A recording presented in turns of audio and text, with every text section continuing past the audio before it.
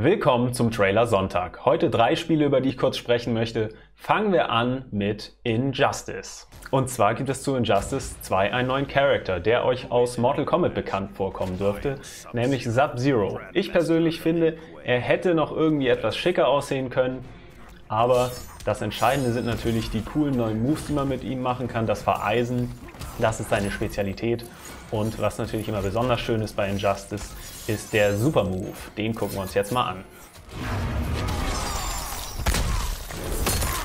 Also schön reinsliden, vereisen, mit dem Hammer drauf, noch ein bisschen nageln und klonk.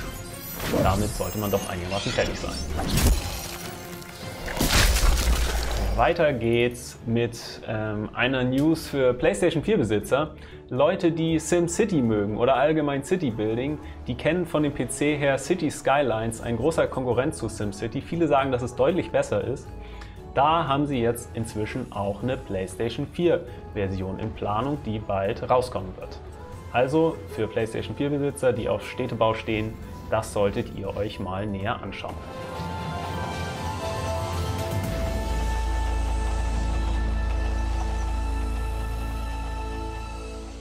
Last but not least, Drone. Ich hatte das schon mal vorgestellt, äh, den Announcement-Trailer verlinke ich oben nochmal.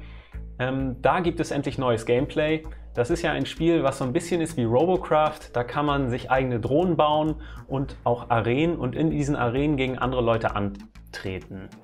Und äh, das Entscheidende ist natürlich dennoch, von allem Basteln und Bauen das Gameplay, das heißt äh, das Ballern aufeinander auf die Drohnen. Und das wird in dem Video ein bisschen mehr gezeigt. Man sieht jetzt öfter das Gameplay aus der Cockpit-Perspektive und äh, kann richtig beurteilen, wie das denn so ist, wie man rollt und schießt und zielt und äh, durch die Gegend gleitet. Also mir gefällt das immer noch ganz gut. Es soll ja bald auch eine Demo wohl davon geben. Wenn das soweit ist, werde ich auf jeden Fall auch nochmal Bescheid sagen.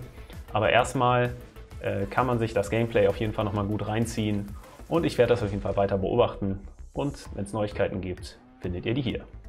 Also das war's mit dem Trailer Sonntag. Bis zum nächsten Mal. Tschüss!